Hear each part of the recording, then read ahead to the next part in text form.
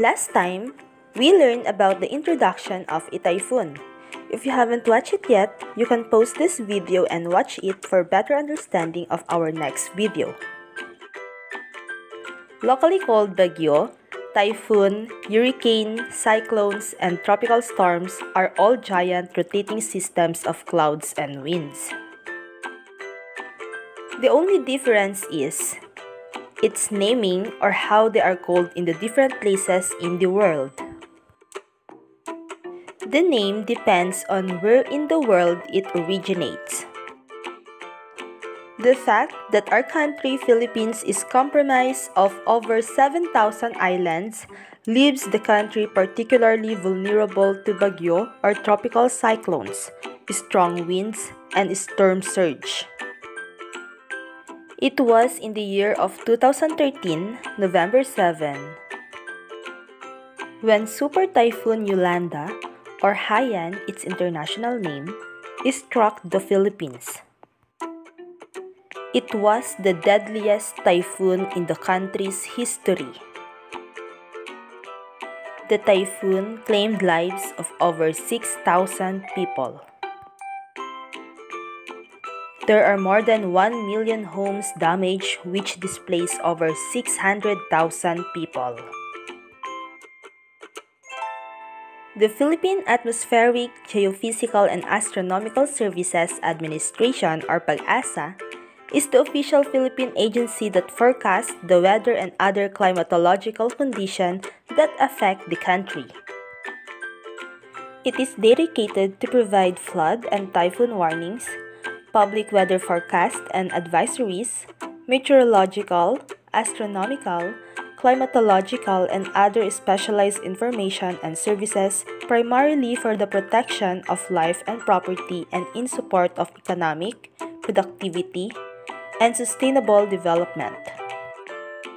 They monitor and track cyclones, typhoons, and other weather disturbances approaching and forming within the given grids called Philippine Area of Responsibility or PAR. According to them, about 20 tropical cyclones enter the PAR each year. We must be knowledgeable about the tropical cyclones if we want to prevent the loss of more lives. We mentioned a while ago the PAR or the Philippine Area of Responsibility. This is the smallest and innermost monitoring domain whose boundary is closest to the Philippine Islands. The exact dimension of this domain are the area of the western North Pacific bounded by imaginary lines connecting the coordinates. Using the latitude and longitude in the table, let's track the location of the PAR. Latitudes are imaginary lines parallel to the equator. This is the point of distance from left to right. While longitudes are imaginary line from North Pole to South Pole. This is the point of distance from the top to bottom. Let's plot the following points to the map we have 5 degrees north and 115 degrees east.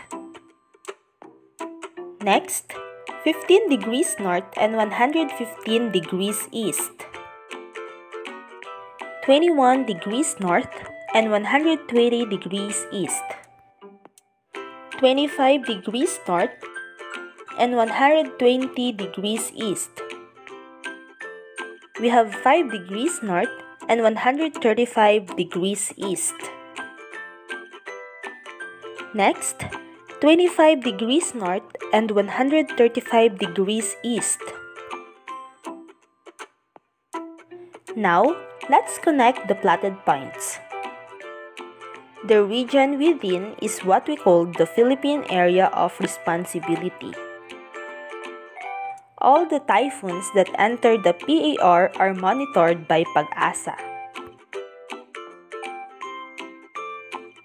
Shown below are the tracks of tropical cyclones that entered the PAR in the past years. The track were plotted by PAGASA. Let's study the map. We have Ompong and Sara.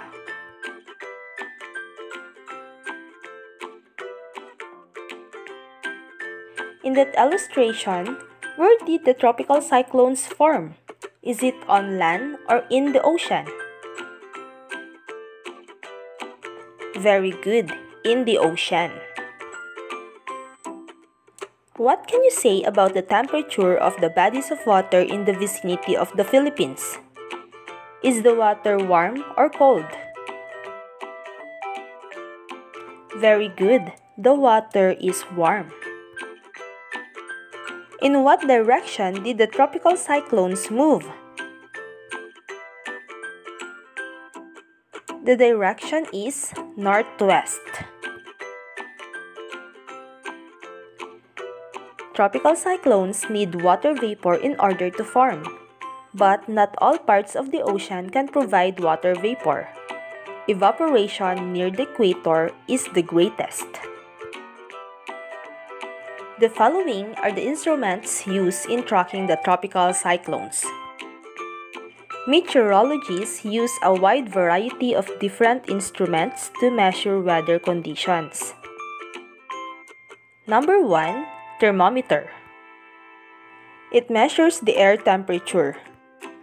Most thermometers are closed glass tubes containing liquids such as alcohol or mercury. When air around the tube hits the liquid, the liquid expands and moves up the tube. A scale then shows what the actual temperature is. Number 2. Anemometer. It measures wind speed. The cups catch the wind, turning a dial attached to the instrument.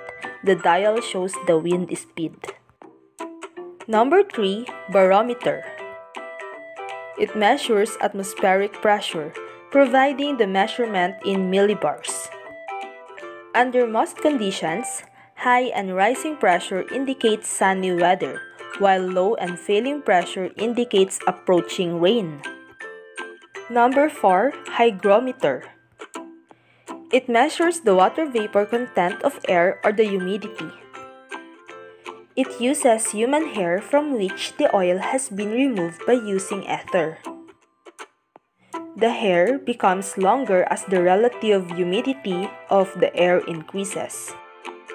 This change can be made to move an indicator needle which moves over a scale. The graduations of which reads from 0% to 100%. Number 5. Psychrometer. It uses two thermometers to measure relative humidity. One measures the dry bulb temperature and the other measures the wet bulb temperature. Number 6. Rawinsonde. An electronic device used for measuring wind velocity, pressure, temperature, and humidity aloft. It is also attached to a balloon, and as it rises through the atmosphere, it makes the required measurements. Number 7. Weather Surveillance Radar It is a long-range type which detects and tracks typhoons and cloud masses at distance of 400 kilometers or less. This radar has a rotating antenna disc preferably mounted on top of a building free from any physical obstruction. Radio energy emitted by the transmitter and focused by the antenna shoots outward through the atmosphere in a narrow beam. The radar is a useful tool in tracking and monitoring tropical cyclones. I have here PAGASA's revised storm warning system. Signal number 1 Winds of 30 to 60 km per hour in the next 24 hours. Signal number 2 Winds of 61 to 120 km per hour in the next 24 hours. Signal number 3 Winds of 121 to 170 km per hour in the next 18 hours. Signal number 4 winds of 171 to 220 kilometers per hour in the next 12 hours. And signal number 5, winds of more than 220 kilometers per hour in the next 12 hours.